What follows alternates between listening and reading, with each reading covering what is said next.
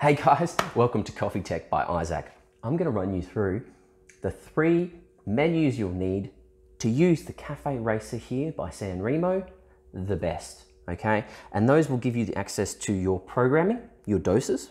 It'll give you access to your clock as well as the San Remo programmed cleaning cycle, as well as giving you access to your temperature, as well as your pre-infusion and doses on each of the heads as well. So the very first menu we'll go into is our dose, our programming for our coffee doses for our buttons here. To get into that, we just need to press and hold this middle button for five seconds. That'll go then into our programming mode. And there we go, that's our programming mode. Now we can program each of our buttons.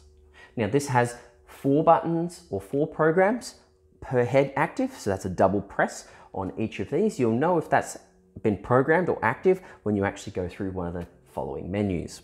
Okay, so if we want to escape that one there, we're going to press that middle button again and that'll exit or escape out of that menu. Now the next menu is going to be pressing and holding this not for five seconds, but for 10 seconds. So I'm going to press and hold. We'll know it comes up because it'll be here and we'll show our dose settings. We're going to keep holding and then it should say clock adjust.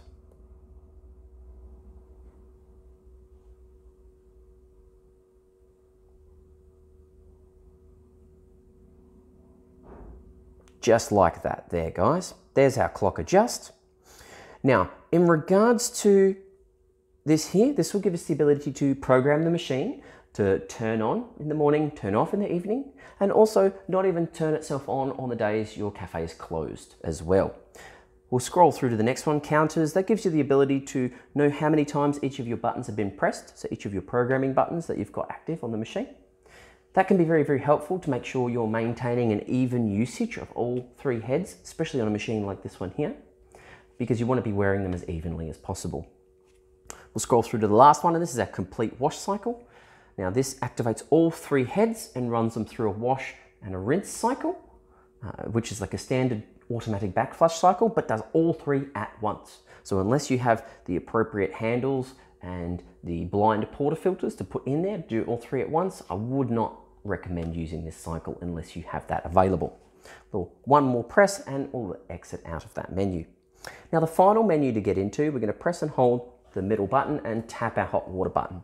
That gets me into my final menu, which is basically our temperature gauge on this head.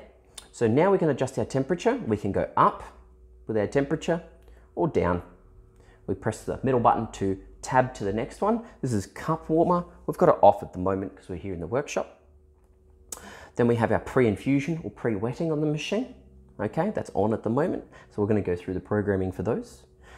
So the first press of this button, so press one, or button one is three seconds for our pre-infusion. I will be adjusting this for the client. Tab, button two, three seconds. Tab, double press of this one is five, and double press of this one is five as well. Then we come to our dose settings. So this comes in mils this way, where the other way of programming, I would use a set of scales and I'd use grams as my dose programming.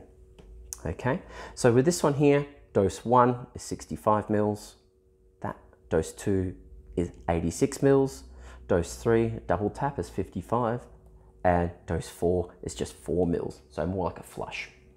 Okay, tap one more to get out of that. Now that particular menu you can go into on each head. Here's the menu on this head. When scrolling through, here we go. There's our pre-infusions, and then there's our dose, and then we're out of that menu. So those are our menus that we will use as a barista working on this Cafe Racer.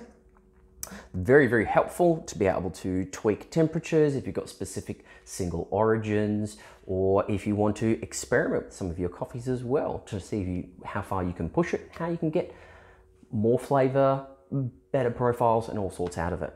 Okay, but this is all for this video. I just wanted to show you those menus. Make sure that you leave a comment below if you need to see uh, anything else from us.